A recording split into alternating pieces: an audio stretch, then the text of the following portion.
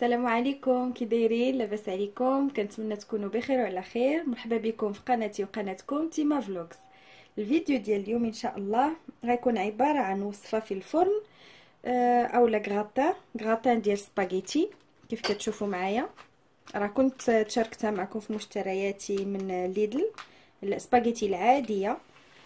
هذا الغراتان هذا كيكون آه، اقتصادي جدا وكيوجد بسهولة وكيمكن لكم تستعملوه كطبق رئيسي في العشاء مثلا أو كطبق مرافق في الغداء. آه، المكونات ديالو سهلة وبسيطة. كيتكون من ثلاث مكونات أساسية أو أربعة واللي هي سباغيتي بطبيعة الحال الحليب كيف كتشوفوا معايا الزبدة والجبن. وبطبيعة الحال آه، البزار والملحة على حسب الذوق. فإن شاء الله غادي ناخذ هاد سباغيتي هادي غير واحد الكمية ما غنديرش صراحة الباكيه كلها. واحد الكمية فقط غادي نسلقها نص طيبة. ما طيبش كلها لأن غتكمل الطياب ديالها أو الهدف ديالنا أننا نكملوا لها الطياب في الحليب. كيف كتشوفوا هاد الوصفة هادي ما كتحتاج لا صوص بيشاميل أو صلصة البيشاميل ما كتحتاجهاش. ما كتحتاج لا قشدة طرية لا كريمة سائلة لا, لا شيء.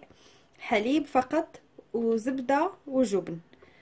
فغادي نسلق هاد سباغيتي نص طيبة وغادي نرجع معكم باش نوريكم طريقة التحضير اللي هي جد جد سهلة وبسيطة.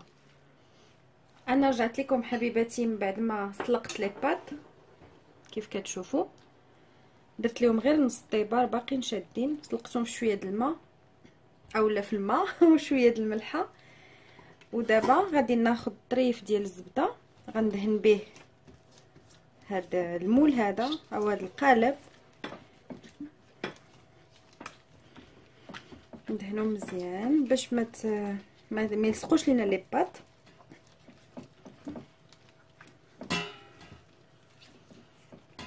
بحال هكا. وغادي نفرغ هذيك الكمية ديال لي بات اللي سلقت. نص طيبه كيف ذكرت غادي نسرحها بواحد الطريقة تكون متساويه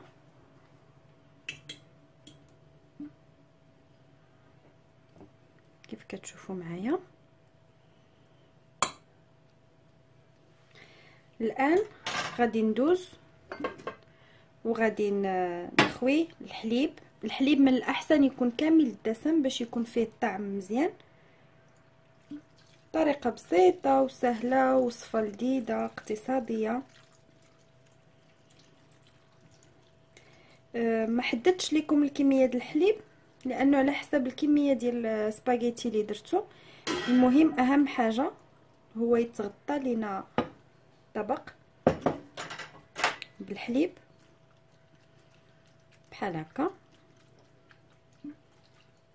خاص الحليب يطلع يطلع على آه، لي بات. كنظن خصني نزيد واحد شوية.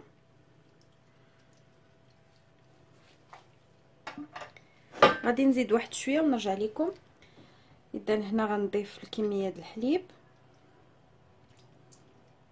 الكافية اللي غادي يكمل تكمل فيها سباغيتي الطياب. غادي ناخذ الملحة. غندير القياس فقط. ما نساوش أننا سلقنا déjà سباغيتي في الملحة. غادي نضيف البزار أو الفلفل الأسود. القليل فقط.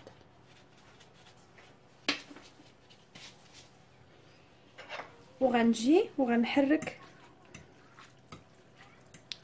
باش يدخلوا ليا البهارات في سباغيتي كلها.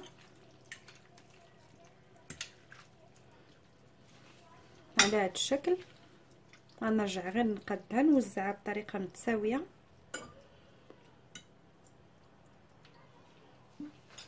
ما كيبقى لي غير قطع الزبدة. نوزعهم بهذه الطريقة. ما كتحتاجوش قطع اللي تكون كثيره غير شوية. أو بإمكاني نقطعها مثلا هكا.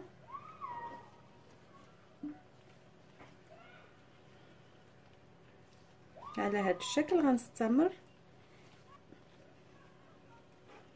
بالنسبة للزبدة واحد جوج معالق كبار تقريبا كافية. على هذا الشكل صافي أنا قربت نسالي. وغادي نوضع الجبن من الفوق.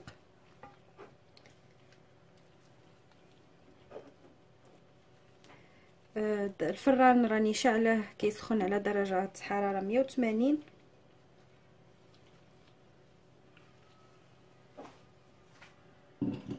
ما بقى لي الآن إلا نضيف الجبن المبشور. ممكن تستعملوا أي جبن عندكم متوفر في البيت. دائما كنقول لكم قضيو بداكشي اللي عندكم في الدار. من أشياء بسيطة ممكن ديروا وصفات لذيذة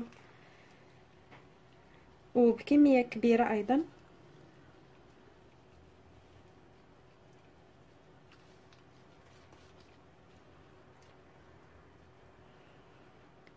هنا الآن من بعد ما وضعت الجبن فغندخلها الفران حتى تحمر ونرجع لكم إن شاء الله.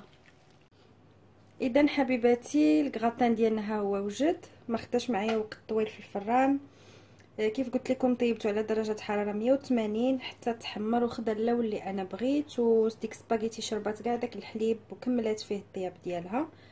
كنتمنى الوصفة ديال اليوم تنال إعجابكم. كنقول لكم بالصحة والراحة. إلا جربتوها كما العادة كتبوها لي في لي كومونتير. مرحبا بأي تعليق من عندكم. وغادي نخليكم إن شاء الله مع طبق التقديم. ومن هنا كنقول لكم مع السلامة في فيديو جديد إن شاء الله.